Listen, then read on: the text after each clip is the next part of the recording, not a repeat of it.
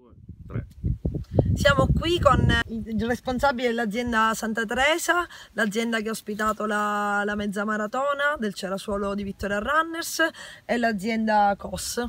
Descrivici Arianna il momento del, del Cerasuolo di Vittoria, che momento economico, produttivo state vivendo, è un momento che vi vede insomma sulla scena eh, con prodotti sempre più interessanti e con un dinamismo anche mh, che si comincia a manifestare nella comunicazione. Ma descrivercelo tu dal punto di vista di un produttore e della tua posizione di presidente della, dell'Associazione della Strada del Vino del Cerasuolo di Vittoria. Cerasuolo di Vittoria è la più, eh, diciamo, la, la, DOCG più a sud d'Italia. Eh, siamo ai piedi dei Monti Blei e, ed equidistanti dal mare. È una zona molto particolare, siamo nel sud-est della Sicilia.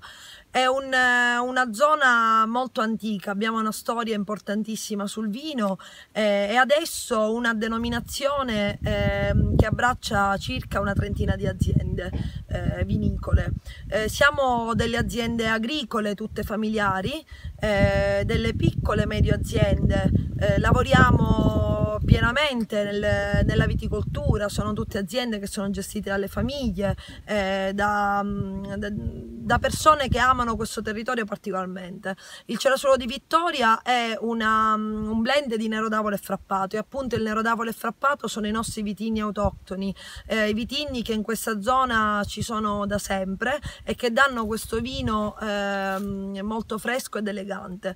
È vero che siamo nel sud-est della Sicilia, ma il Cerasuolo di Vittoria è un vino che ha questa mm, estrema diversità spesso, quasi a volte non sembra un vino siciliano per questa sua freschezza, per questa sua eh, fragranza.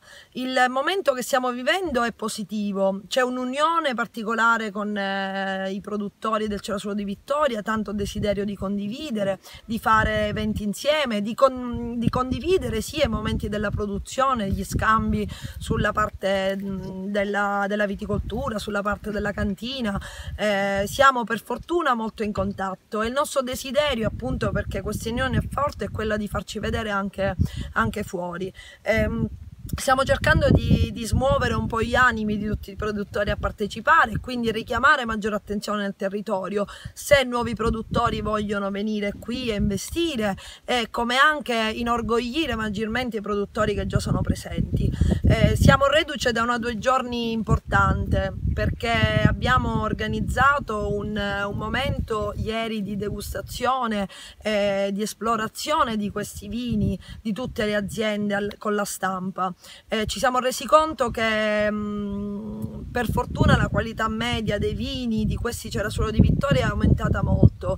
Eh, tutti i vini assaggiati erano corrispondenti di queste terre rosse. Vittoria è una zona di terre rosse, terre bianche, eh, terre sabbiose che stanno sopra questo banco di calcare ed è proprio nel calcare che affondano le radici di questi vigneti ed è per questo che hanno questa freschezza.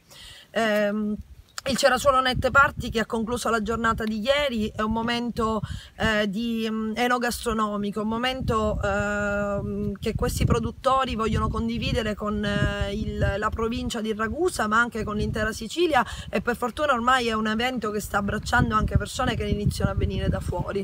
Ehm, abbiamo avuto tutti i produttori del Cerasuolo, abbiamo avuto eh, due importanti chef del nostro territorio, eh, i prodotti tipici perché è ovvio che l'intera l'intera provincia partecipa a tutto, a tutto, questo. Il vino è legato all'agricoltura, il vino è legato ai prodotti e tutti cresciamo insieme.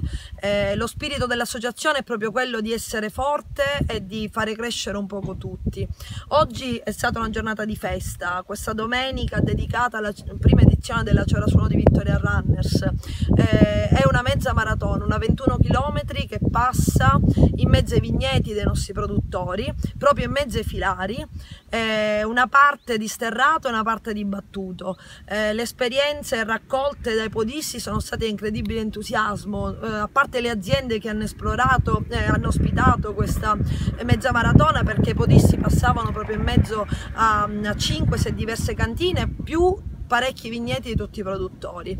Eh, sicuramente qualcosa da ripetere, noi siamo, eh, abbiamo superato le aspettative, siamo ancora più felici di quello che pensavamo, eh, grazie un po' a tutta la partecipazione delle aziende le cose eh, possono riuscire, per cui l'unione fa la forza, è una frase spesso si dice, ma è sicuramente la cosa più vera che oggi abbiamo vissuto.